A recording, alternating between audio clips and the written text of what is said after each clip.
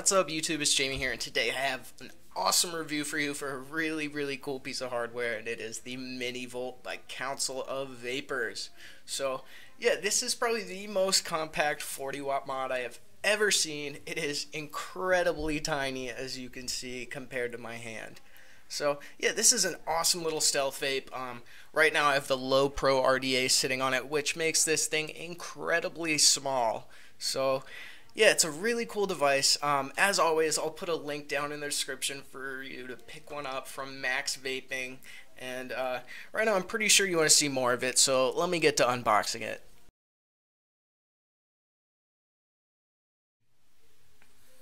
Alright, so this is going to be your first look at the Mini Volt up close. Um, I've already unboxed this one, as you can see right here, but I put everything back in just to show you what comes in the box. So, of course, first thing, Got your mod right here. So let's take this out, put it right here. It's a pretty simple box, not much in here.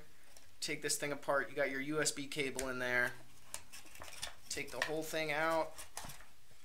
And you got your instruction card, which is, you know, pretty pretty uh, self-explanatory. Tells you what to do, but I'll be going over all that in this video, so let me put all this stuff over by the side. And let's take a look back at this little guy.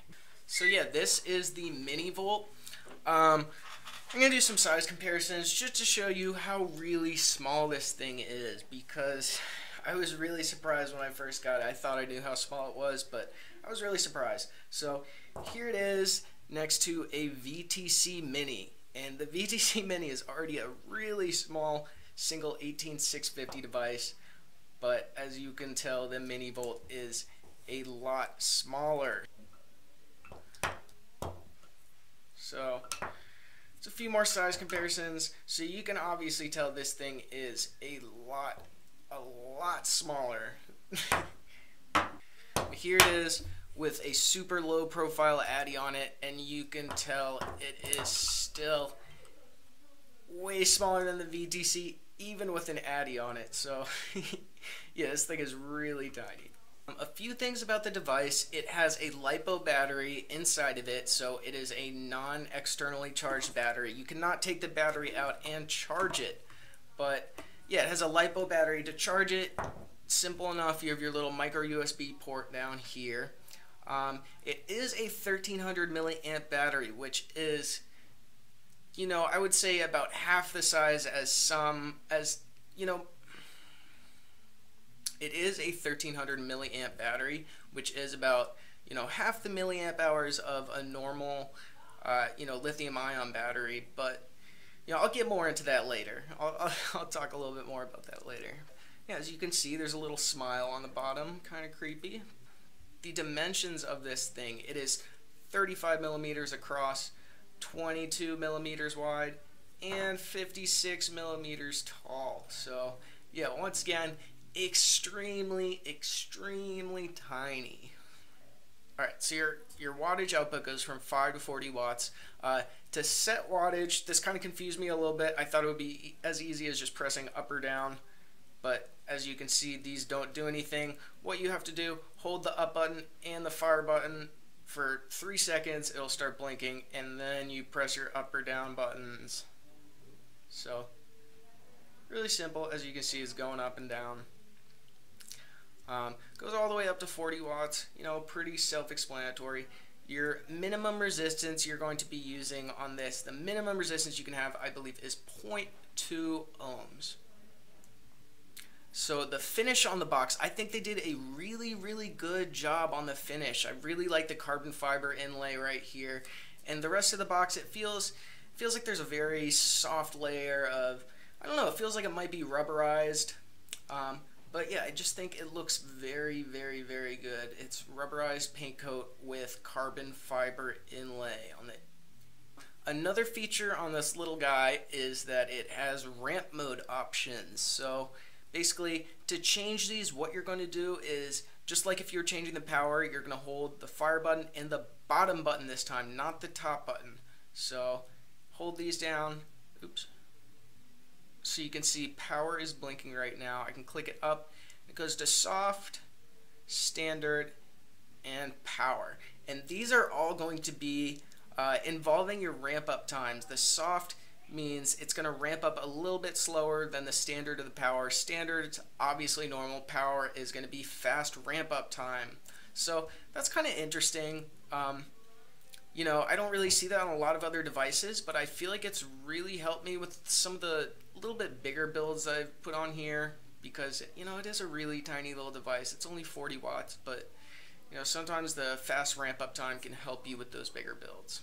So yeah, other than that, pretty simple device. You got your standard 510 connection. You know, you got your micro USB port for charging.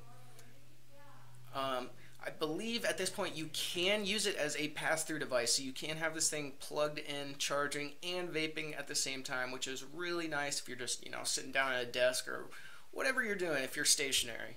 So now that you've seen this little smiley guy, I'm going to go back up top and uh, vape on it a little bit and talk to you guys about some pros and cons.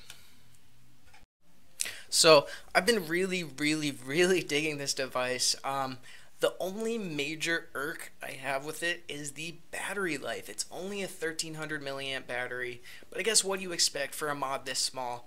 Um, I'm gonna say right now, if your like major vape, the only type of vape you can have is a big, huge, airy, high wattage, you know, double Clapton, whatever it is, vape. This is not the device for you. Um, you know the 1300 milliamp battery it's it's about half the size of a normal lithium lithium ion battery. But you know there's ways to work around it. What i've found out is if you build high ohms on this or the higher ohms you build the better your battery life this is going to have. It's not going to pull as many amps on the battery and it's going to extend your battery life a lot more. Um, i can usually vape this for about a day without having to recharge it uh, the 1300 milliamp, you really have to work around it. You really have to build higher ohms in here to, you know, support the battery life that it comes with. Um, all right, so with that being said, I'm going to get into some pros of it.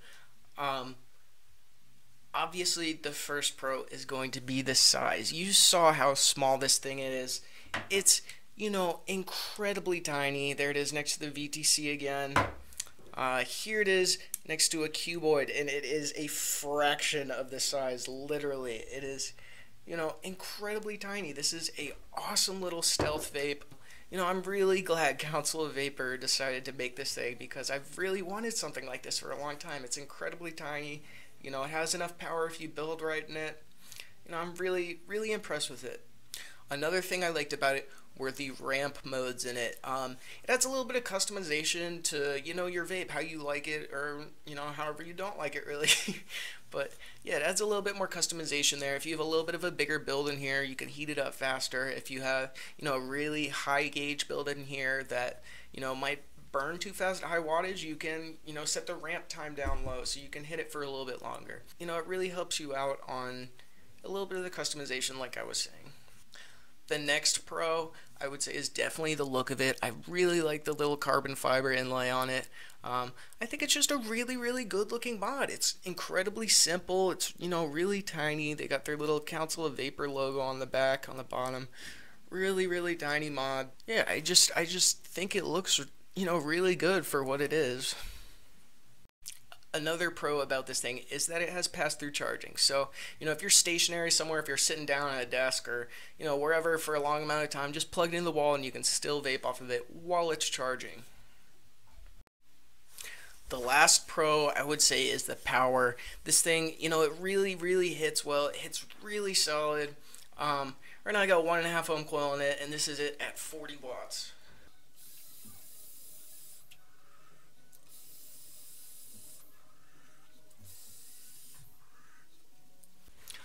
So you can see even though this thing is really tiny, it can still, you know, blow a decent amount of clouds. It can still provide a really satiable vape, which is awesome. You know, it still has that 40 watts to give you a really, you know, satiable vape if you build high on it. Alright, so now to get into the cons of this thing. So, obviously your first con is going to be the battery life. Like i said it's only a 1300 milliamp hour battery but what did you expect with a device this tiny? Uh, the second con is this does not do temp control. I know that might be asking a bit much for a mod this big but it would be really nice if they came out with like a V2 in the future that did temp control because I really am a sucker for temp control and I think, you know, it would make this device a lot better.